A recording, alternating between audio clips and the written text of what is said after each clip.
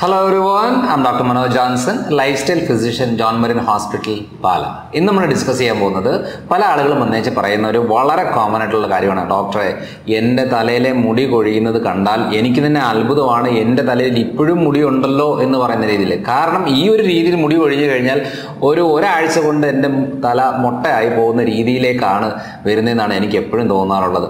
ചിലർ വന്നേച്ച് പറയാറുണ്ട് ഞാൻ രാവിലെ എഴുന്നേറ്റ് കഴിയുമ്പോഴത്തേനും ഈ തലമുണയിൽ മൊത്തം പില്ലോയിൽ മൊത്തം മുടിയായിരിക്കും. പിന്നെ എനിക്ക് സത്യം പറഞ്ഞാൽ മുടി ചീകാൻ പേടിയാ. ചീകി കഴിഞ്ഞാൽ തലേക്കാട്ടിലും കൂടുതൽ മുടി ചീപ്പിനകത്തായിരിക്കും. അതേപോലെ ചിലത് പറയുന്നത് എന്റെ വീട്ടിൽ മക്കളും ഹസ്ബൻഡും എല്ലാവരും വഴക്ക് പറയുകയാണ് "ഏ, ഇവളുടെ മുടിയാണല്ലോ ഈ വീട് മൊത്തം. അതായത് ബാത്റൂമിൽ ചെന്നാൽ അവിടെ മുടി അടുക്കള ചെന്നാൽ അവിടെ മുടി ഫുഡിൽ അവിടെ മുടി ഡൈനിങ് ടേബിളിലും എല്ലാ സ്ഥലങ്ങളിലും മുടി ഇങ്ങനെ കിടക്കുകയാണ് അപ്പോൾ ഇതേപോലെ മുടി കൊഴിച്ചിൽ എന്ന് പറയുന്നൊരു പ്രശ്നം ഭൂരിഭാഗം ആളുകൾ വളരെ കോമൺ ആണ്. അതിന് എന്തൊക്കെ ചെയ്യുന്നുണ്ട്? നമ്മൾ വിറ്റാമിൻ ഗുളികൾ കഴിക്കുന്നുണ്ട് പലതരം ബ്ലഡ് ടെസ്റ്റുകൾ ചെയ്യുന്നുണ്ട് അതേപോലെ തന്നെ ഷാംപൂ മാറി മാറി നോക്കുന്നുണ്ട് താരന് വേണ്ടിയിട്ടുള്ള എണ്ണകൾ അപ്ലൈ ചെയ്യുന്നുണ്ട്. പല ടൈപ്പ് ഡെർമറ്റോളജിനെ കണ്ട് ഒത്തിരിയേറെ ലോഷൻസ് സോറി ഓയിലും ഷാമ്പുകളെല്ലാം നമ്മൾ ട്രൈ ചെയ്യുന്നുണ്ട്. പക്ഷേ ഈ ഒരു കാര്യത്തിൽ ഒരു ഫുള്ളായിട്ടൊരു മാറ്റം എന്ന് പറയുന്നത് വരുന്നില്ല. അപ്പോൾ എപ്പോഴും നമ്മൾ നോക്കുമ്പോൾ ആ ചെയ്യുമ്പം ഒരു ചെറിയൊരു മെച്ചമുണ്ട് പക്ഷെ പിന്നെയും ഇതൊക്കെ തന്നെയാണ് അവസ്ഥ. അതായത് ഇങ്ങനെ മുടി അതായത് ഇപ്പോൾ സാധാരണ ഒരു രീതിയിലൊരു പത്തൊമ്പത് മുടിയൊക്കെ ഒരു ദിവസം കൊഴിയുക എന്ന് പറയുന്നത് വലിയ കുഴപ്പമുള്ള ഒരു കാര്യമല്ല. കാരണം എന്താ വെച്ചാൽ അത് മുടി കൊഴിച്ചിലുണ്ട് എന്നുള്ളത് നമുക്ക് തോന്നുന്നത് പോലുമില്ല. ഇത്രയും മുടി പോകുന്നു പറഞ്ഞാൽ നമുക്ക് അതിൽ കൂടുതൽ നൂറും ഇരുന്നൂറും മുന്നൂറും മുടികളൊക്കെ ഇങ്ങനെ ഒരു ദിവസം കൊഴിയുമ്പോഴാണ് നമ്മൾ അറിയുന്നത് അയ്യോ മുടി കൊഴിച്ചിലുണ്ടല്ലോ എന്നുള്ളത് അപ്പോൾ ഈ ഒരു രീതിയിലേക്ക് വരുമ്പോൾ നമുക്ക് ഒത്തിരി മാനസിക ബുദ്ധിമുട്ടും ആരോഗ്യ അതായത് പല പലരുടെയും കോൺഫിഡൻസ് കുറയുന്ന ഒരു ഏരിയയാണ് മുടി കൊഴിച്ചിൽ പറഞ്ഞത്. എത്ര പേര് നമ്മുടെ അടുത്ത് വന്നേച്ച് ഏ, അതായത് എനിക്കിപ്പോൾ പുറത്തേക്ക് ഇറങ്ങാൻ പറ്റുന്നില്ല. ഒരാൾ ഇരുപത്തിയാറ് വയസ്സുള്ള ഒരാളാണ്. ആ ചെറുപ്പക്കാരൻ സത്യം പറഞ്ഞാൽ തൊപ്പി വെച്ചുകൊണ്ടാണ് വരുന്നത് പക്ഷേ അമ്മ പറയുന്നത് ഇവനിപ്പം ഒരു ജോലിക്കും പോകുന്നില്ല ഒരു പണിയും എടുക്കുന്നില്ല. അവൻ ചോദിച്ചപ്പോൾ എന്താ മുടി കൊഴിച്ചിൽ കാരണം കൊണ്ട് എന്റെ കോൺഫിഡൻസ് കുറയുകയാണ് എനിക്കൊരാളെ ഫേസ് ചെയ്യാൻ പറ്റുന്നില്ല എന്നുള്ള രീതിയിൽ.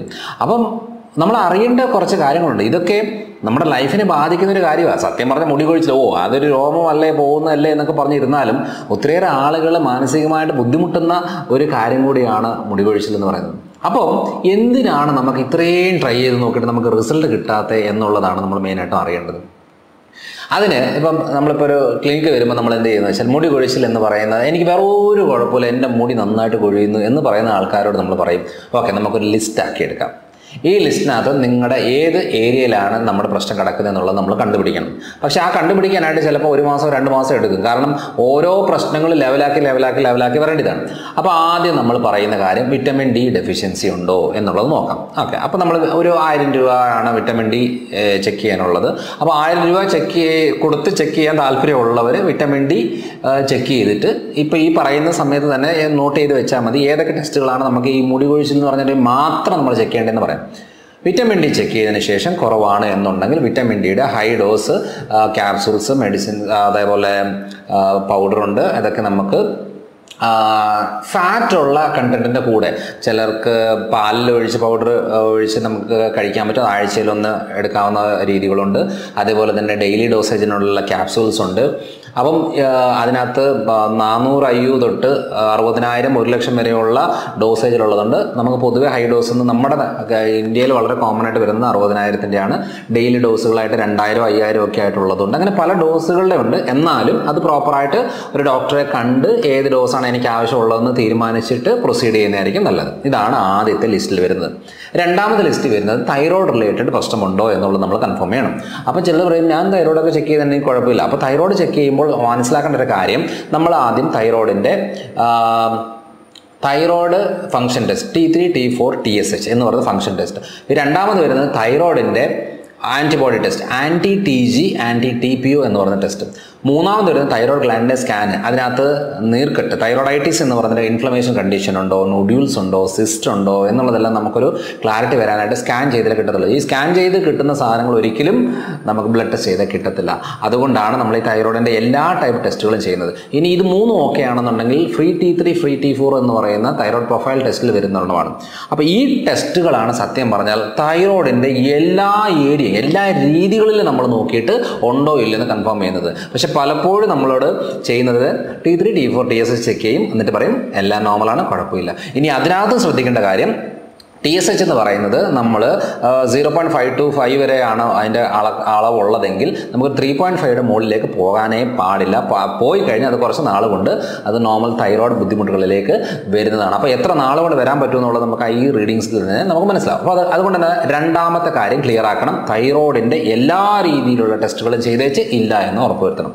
മൂന്നാമത്തത് ടെസ്റ്റാണ് നമ്മളെ ഹീമോഗ്ലോബിൻ അതായത് അനീമിയ രക്തക്കുറവിന്റെ കണ്ടീഷൻ ഹീമോഗ്ലോബിൻ അയൺ ഫെറിറ്റിൻ എന്ന് പറയുന്ന മൂന്ന് ടെസ്റ്റുകൾ നമ്മൾ ഇതിനകത്ത്. കാരണം പലപ്പോഴും എച്ച് ബി ലെവൽ നോർമൽ ആയിരിക്കും അയൺ ഓക്കെ ആയിരിക്കും ഫെറിറ്റിൻ വളരെ കുറവായിരിക്കും. എച്ച് ബി ലെവൽ ഓക്കെ ആയിരിക്കും അയൺ കുറവായിരിക്കും ഫെറിറ്റിനും കുറവായിരിക്കും. അപ്പോൾ എച്ച് ബി നോക്കിയിട്ട് ഹീമോഗ്ലോബിനെല്ലാം ഓക്കെയാണ് എനിക്ക് രക്തക്കുറവില്ല എന്ന് പറയരുത്. കാരണം ചിലരുടെ ബ്ലഡിലൊക്കെ ഓക്കെ ആയിരിക്കും പക്ഷേ അവരൊക്കെ വിളറിയായിട്ട് ഇരിക്കുന്നത് ബ്ലീച്ച് രീതിയിലേക്ക് അവരുടെ കണ്ണിൽ കാണത്തില്ല രക്തം കാണത്തില്ല ഇതിങ്ങനെ പ്രസ് ചെയ്ത് വിടുമ്പോഴത്തേനും എന്താ പറയുക വിളറി തന്നെയാണ് ഇത് ഇരിക്കുന്നത്. വളരെ സ്ലോ ആയിട്ടാണ് റിലീസ് ആകുന്നത് ഇങ്ങനത്തെ കാര്യങ്ങളെല്ലാം ഈ എച്ച് ബി ലെവൽ കുറയുന്നത് പിന്നെ കുറച്ച് നടക്കുമ്പോൾ തന്നെ ക്ഷീണം വരുന്നത് എന്തെങ്കിലും ആക്ടിവിറ്റി ചെയ്യുമ്പോഴത്തേനും കിടക്കണമെന്ന് ഇരിക്കണം തോന്നുന്നത് ഇതെല്ലാം എച്ച് ബി ലെവൽ കുറയുന്നതിന്റെ എച്ച് ബി ലെവൽ എന്നല്ല ഈ അയൺ ഫെറിറ്റിൻ കണ്ടന്റ് കുറയുമ്പോൾ നമുക്ക് ഭൂരിഭാഗം ഈ പറയുന്ന ബുദ്ധിമുട്ടുകളൊക്കെ ഉണ്ടാകും. അപ്പം മൂന്നാമത് ടെസ്റ്റ് ചെയ്യേണ്ടത് അയൺ ഫെറിറ്റിൻ ഹിമോഗ്ലോബിൻ എന്ന് പറയുന്ന ബ്ലഡ് റിലേറ്റഡ് ആയിട്ടുള്ള കാര്യങ്ങൾ കാര്യങ്ങളിലാണ് നമ്മൾ നോക്കേണ്ടത്.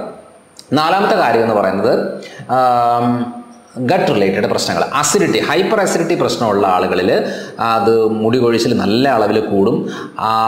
അതുകൊണ്ട് നമ്മൾ വയറിന് സംബന്ധമായിട്ടുള്ള പ്രശ്നങ്ങൾ നമുക്ക് എപ്പോഴും വയറിനൊരു ബുദ്ധിമുട്ടാണ്.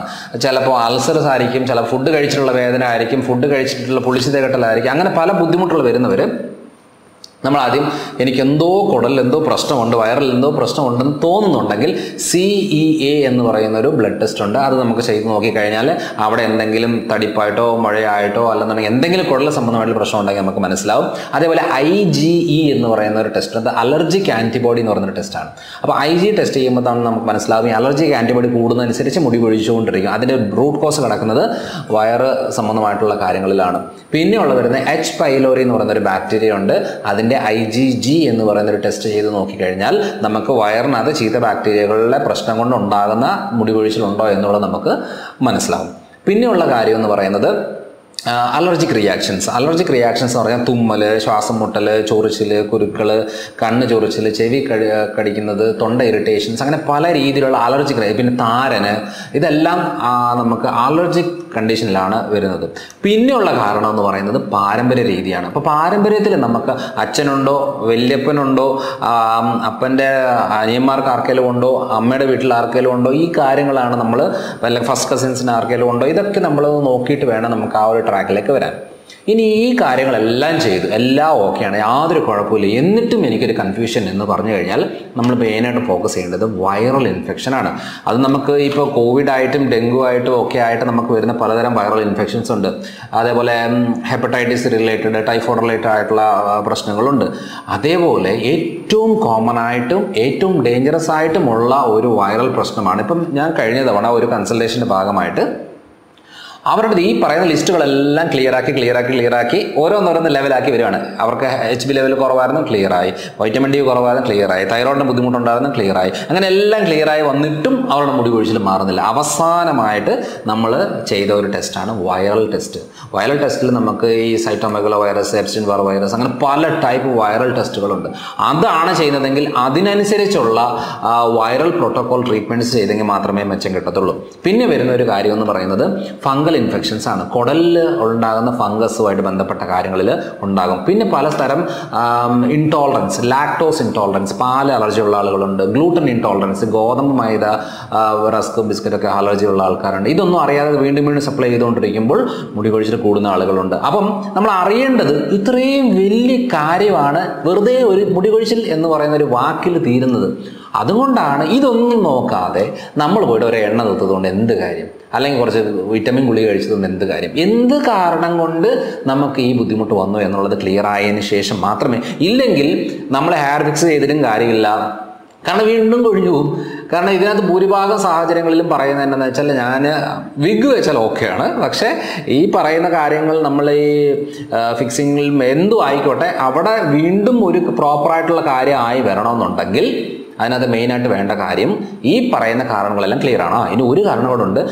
ടെസ്റ്റോസ്റ്റിറോൺ അതായത് ഹോമോണൽ റിലേറ്റഡ് ആയിട്ടുള്ള പ്രശ്നങ്ങളിൽ ഇൻസുലിൻ അളവ് ഫാസ്റ്റിംഗ് ഇൻസുലിൻ എന്ന് പറഞ്ഞ ടെസ്റ്റ് ഉണ്ട്. അത് കൂടുന്നവർക്ക് ഈ ബുദ്ധിമുട്ടുണ്ടാകും. ഈസ്ട്രോജൻ കൂടുന്നവർക്ക് ഈ ബുദ്ധിമുട്ടുണ്ടാകും. അതേപോലെ ടെസ്റ്റോസ്റ്റിറോൺ എന്ന് പറഞ്ഞ ഹോമോണിന്റെ അളവ് കൂടുന്നവർക്ക് ഈ ബുദ്ധിമുട്ടുണ്ടാകും. ഇതൊക്കെ നമ്മൾ ടെസ്റ്റ് ചെയ്ത് ബോധ്യപ്പെട്ടതിന് ശേഷം മാത്രമേ എന്റെ പ്രശ്നം ഇന്ന കാരണം കൊണ്ടുണ്ടായതാണ് എന്നുള്ളത് കൺഫേം ചെയ്ത് അത് മാത്രം ചികിത്സിച്ച് പോവുകയാണെന്നുണ്ടെങ്കിൽ നമുക്ക് ഒരു പെർമനന്റ് സൊല്യൂഷൻ കിട്ടും. അപ്പോൾ ഇതാണ് മെയിനായിട്ട് മുടികൊഴിച്ചിൽ എന്ന് പറയുന്ന വാക്കിൽ നമ്മൾ ഉദ്ദേശിക്കുന്ന ഒരു കാര്യം. അപ്പോൾ അടുത്ത തവണ അടുത്തൊരു വീഡിയോ ആയിട്ട് വരാം.